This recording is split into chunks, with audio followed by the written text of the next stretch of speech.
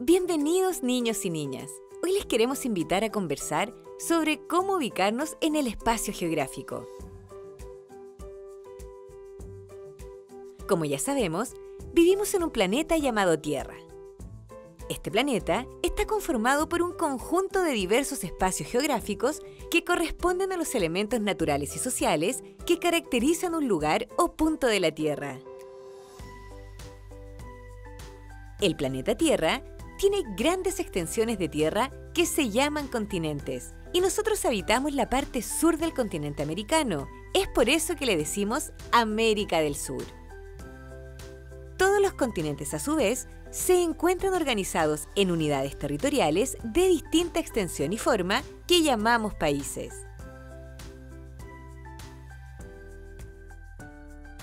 Chile a su vez está dividido en regiones, de estas regiones, algunas están en la zona norte, otras en la zona central y otras en la zona sur del país.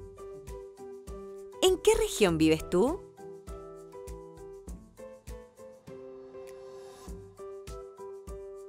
Yo vivo en la región metropolitana, pero cuando nací, mis padres vivían en la región de los lagos, que está en la zona sur de Chile.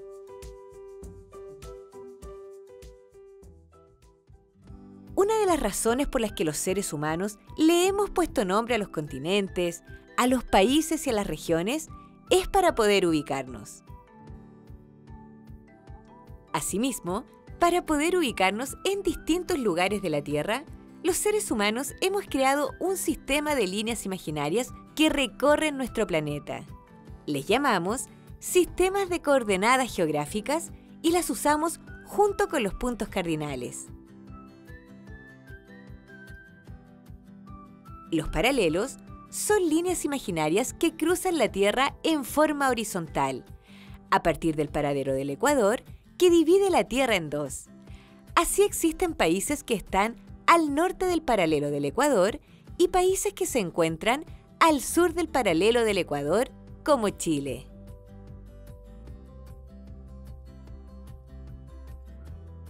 Los meridianos son líneas imaginarias que cruzan la Tierra en forma vertical a partir del meridiano de Greenwich, que es el más importante y divide la Tierra. Así existen países que están en el lado oeste de este meridiano y otros en el este. Te contaremos una historia. Claudio y Ana son dos amigos que se conocieron por redes sociales ellos conversan por medio del celular. Claudio vive en Chile y Ana en España, y aun cuando están muy lejos el uno del otro, son amigos. Claudio le dice a Ana que le gustaría conocer dónde vive. Entonces, Ana le dice que se lo contará. Amigo, te contaré dónde vivo. El país en que vivo se llama España y está ubicado en el suroeste del continente europeo y al norte del continente africano, y cercano al mar Mediterráneo. Este continente está rodeado por el Océano Atlántico y se encuentra al norte del paralelo del Ecuador y al este del meridiano de Greenwich. Para llegar a mi país, puedes hacerlo de dos formas, en avión o en barco. En avión, la ruta podría ser partir desde el aeropuerto de Santiago de Chile y volar sobre Argentina y Brasil, luego volar sobre España y aterrizar en la ciudad de Barcelona, que es la ciudad de España en la que vivo. Esta ciudad se encuentra rodeada por el mar Mediterráneo. La otra forma de llegar es en barco, y la ruta puede ser subirse a un barco en el puerto de Valparaíso, el que navegará por el Océano Pacífico hacia el norte, pasará la línea imaginaria llamada paralelo del Ecuador y llegará hasta América Central, donde hace mucho calor y existen ciudades rodeadas con mucha vegetación de diversos colores. Finalmente, llegará al Océano Atlántico por el Canal de Panamá y terminará en España.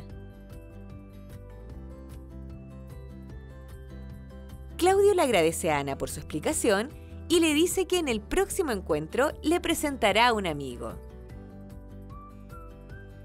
El próximo encuentro se reúne Ana, Claudia y Francisco, que vive en México. ¿En qué continente vive Francisco? ¿Está al norte o al sur de la línea del Ecuador? ¿Está al este o al oeste del meridiano de Greenwich?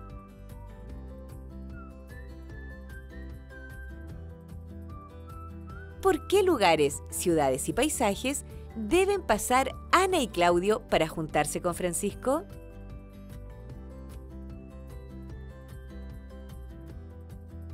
¡Hasta pronto!